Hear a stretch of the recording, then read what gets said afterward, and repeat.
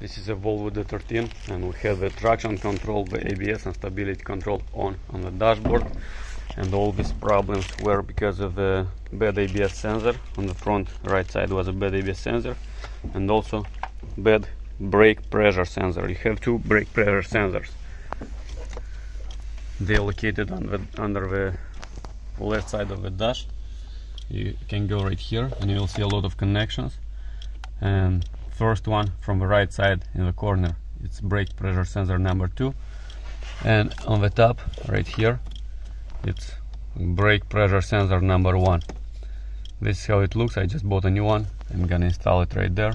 It's a quick connector. And after I'm gonna connect back the plug. And after this you will need to do a calibration. The first one was our problem. Second was second problem is just because I disconnected the second sensor. And first sensor mechanical system do not respond doesn't respond.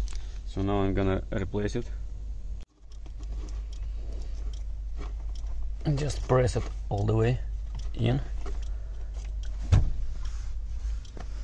Make sure better the ignition is off.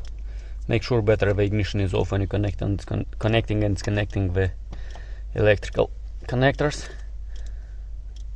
And now we can plug back the connector the connector is back.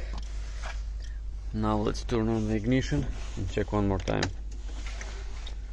for the errors.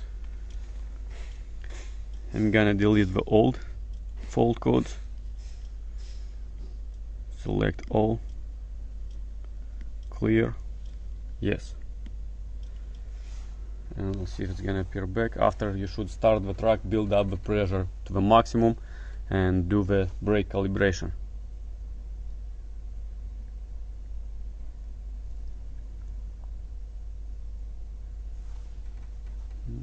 Mm-hmm.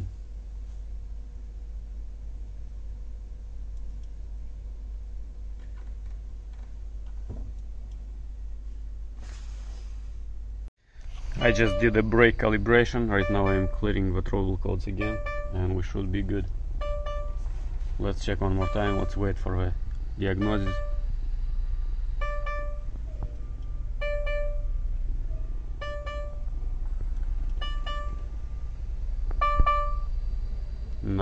dashboard.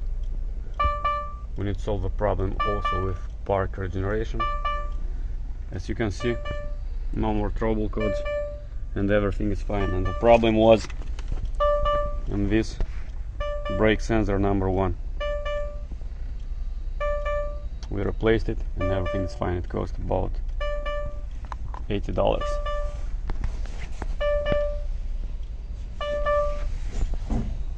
need just to put this cover back. And we're good.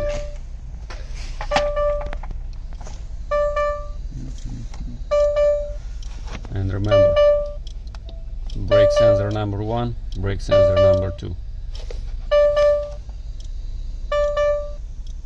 And this was the problem with our sensor. It had a connection and it was the wire was damaged so we just replaced it with a new one Mm-hmm.